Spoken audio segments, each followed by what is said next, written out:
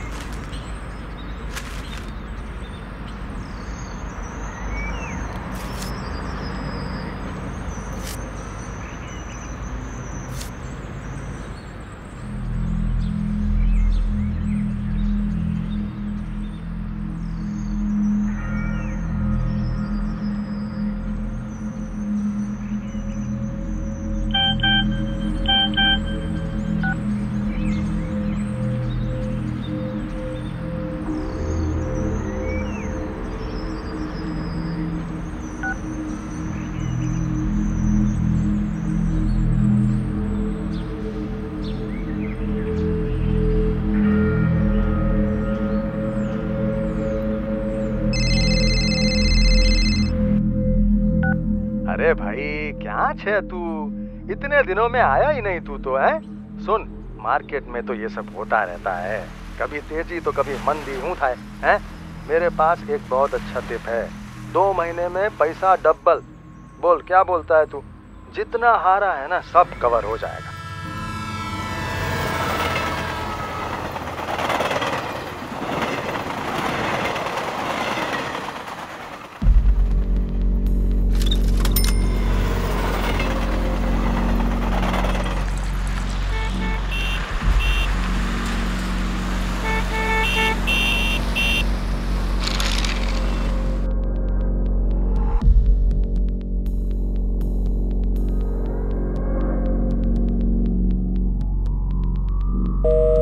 हाँ भाई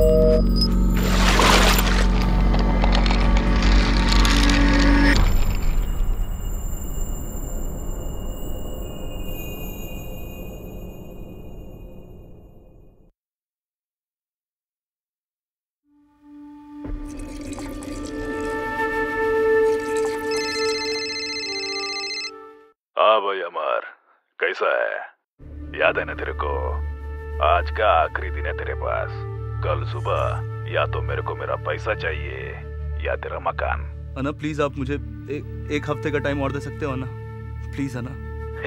एक हफ़्ता एक सेकेंड भी एक्स्ट्रा नहीं मिलेगा। तीन महीनों में पैसा वापस कर देने वाला था तू। अब आठ महीना हो गया। मैं मेरा पैसा इतना टाइम अटका नहीं सकता। ऊपर से इंटरेस्ट भी नहीं दिया तूने मेरे को दो महीनों से। और मेरे को मालूम है तेरे बारे में सब। सब कुछ हार गया रे तू। स्टॉक मार्केट में। ना तेरे पास कोई काम है, ना तेरे को कोई काम देगा। मंदी का टाइम है। कहाँ से तू देगा मेरे को पैसा? एक ही रास्ता है। जो तूने गिरवी रखा है ना, वो भूल जा। अभी शिरडी में हूँ। रात को लौटूँगा। कल सुबह आ जाऊँगा ठीक आठ बजे।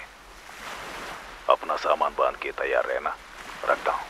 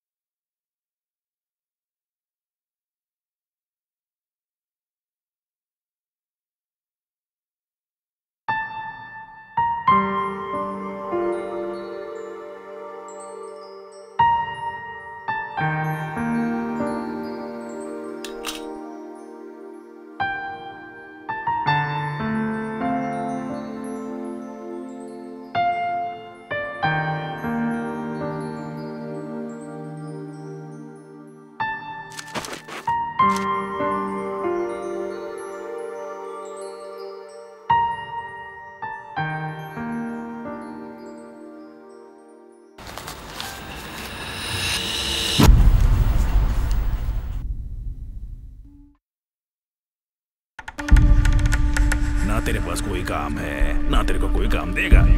मंदी का टाइम है। कहाँ से तू देगा मेरे को पैसा? एक ही रास्ता है। जो तूने गिरवी रखा है ना, वो भूल जा। अभी शिरडी में हूँ। रात को लौटूँगा। कल सुबह आ जाऊँगा ठीक आठ बजे। अपना सामान बाँध के तैयार रहना।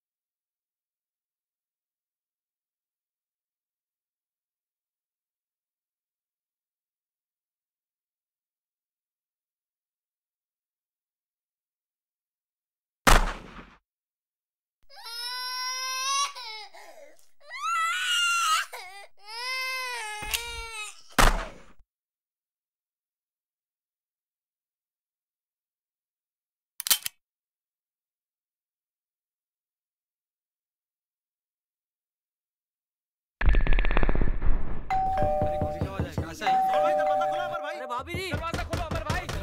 लगता है कुछ गड़बड़ है। यार अंदर पता नहीं आवाज़ आ रही है यार। जो दो दो गोलियों की आवाज़ सुनिए शर्मा जी आप प्लीज़ जाके पुलिस को फ़ोन कीजिए। हमें पुलिस को खबर कर